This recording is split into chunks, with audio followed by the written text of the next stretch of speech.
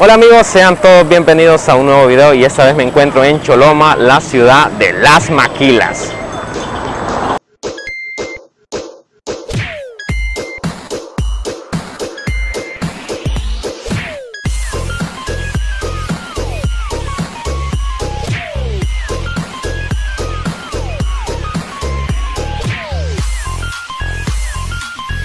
Bueno amigos, ya son las 7 de la mañana, yo ya ando caminando por los lugares de Choloma.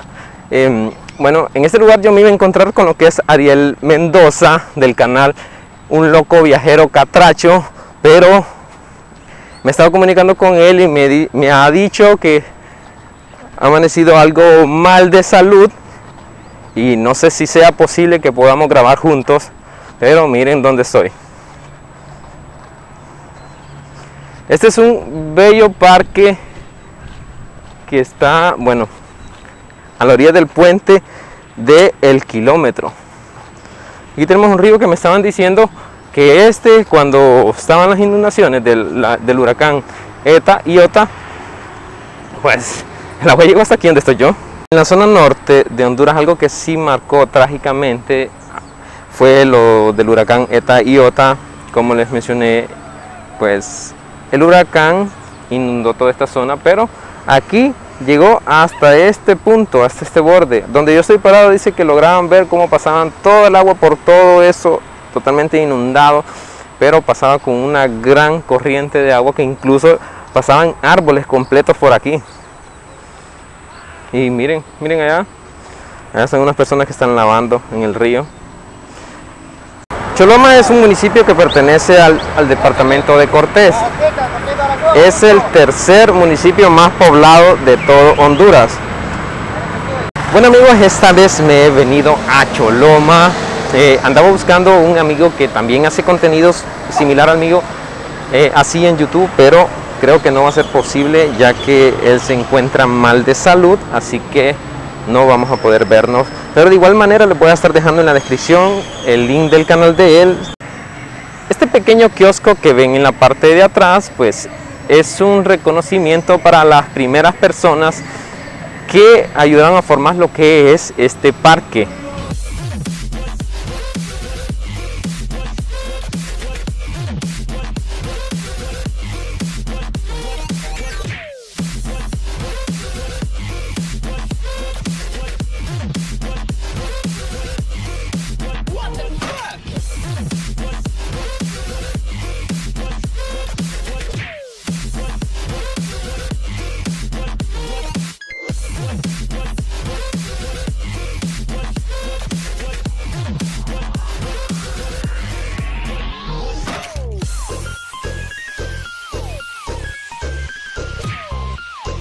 Choloma siempre ha sido el puente que une San Pedro Sula con Puerto Cortés.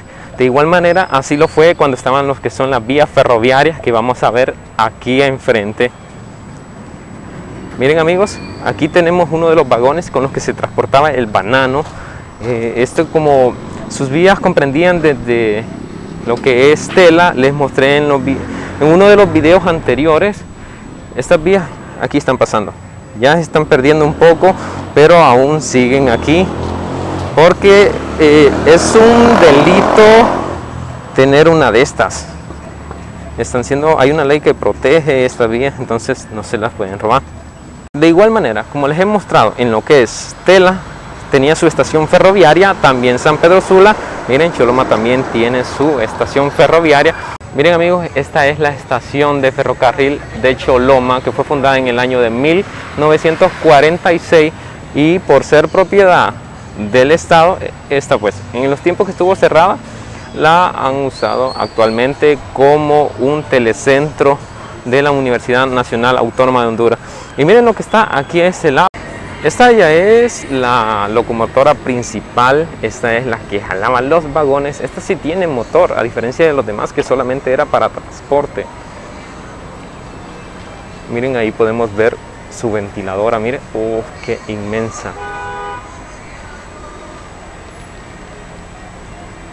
Miren amigos, cerca de esta locomotora, un poquito más adelante, vamos a encontrar una pequeña cabina es este sería una, una, pequeña locomotora Porque miren, esta no solamente es un vagón, no es algo que tendrían que remolcar, sino que también ella cuenta con un motor. Ella va a perder, pero cuenta con un motor que seguramente es gasolina, es de cuatro cilindros. Miren su pequeña ventiladora, algo destrozada. Le han intentado hacer unos pequeños daños.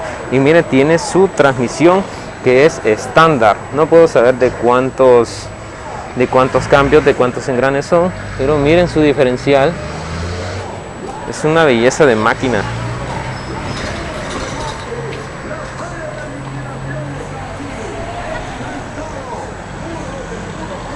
Miren amigos, estoy aquí en la estación de bomberos de Choloma.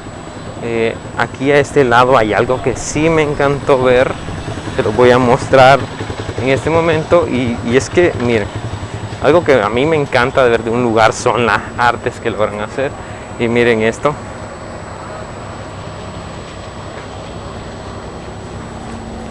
Y miren qué hermosura. Pues la pintura está súper hermosa. Lamentablemente el sol le pega directamente y la ha deteriorado. Pero miren qué belleza de pintura. Y miren amigo, enfrente de aquí de la estación de bomberos, pues tenemos esta cuadra que es un mercado completo. Toda la cuadra es un mercado. Y vamos a dar un paseo por adentro de ella.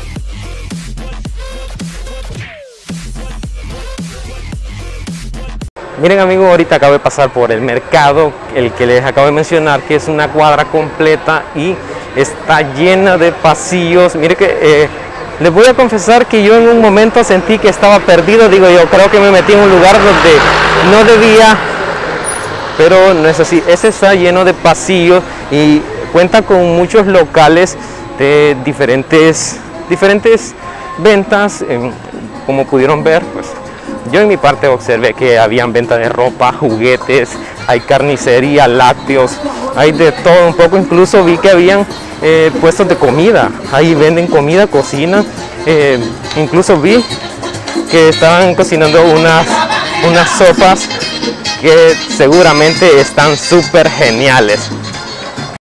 Choloma cuenta con una muy buena economía, eso se debe a las grandes empresas que están en este lugar, la gran cantidad de empresas también por el gran comercio que se mueve en este lugar. Eh, como les mencioné también, es, Choloma sirve de puente de lo que es la ciudad de San Pedro a Puerto Cortés, así que por esa razón ustedes van a ver lo que es mucho equipo pesado en este lugar. Este es el tercer municipio más poblado de Honduras.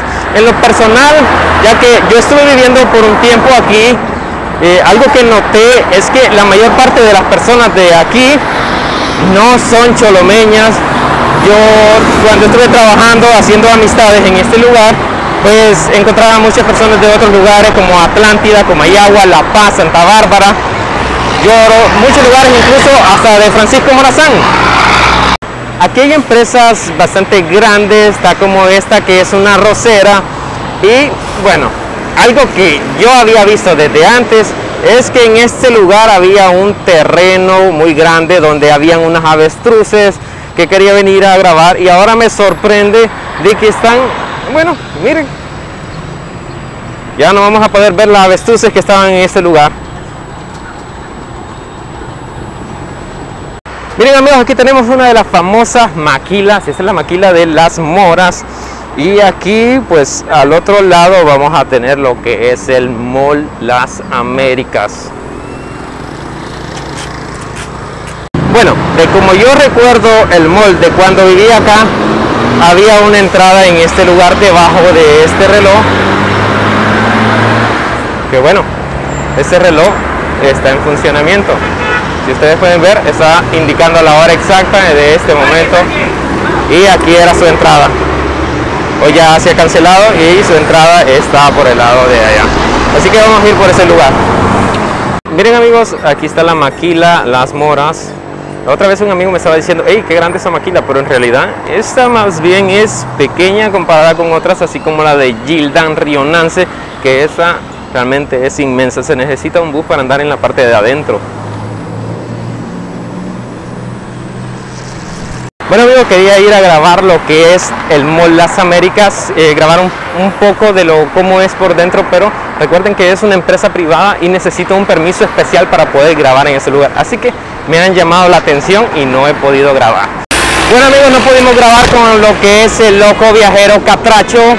Eh, estuve en contacto con él y realmente no pudo venir, pero vamos a estar pendientes para que así participemos en otro video.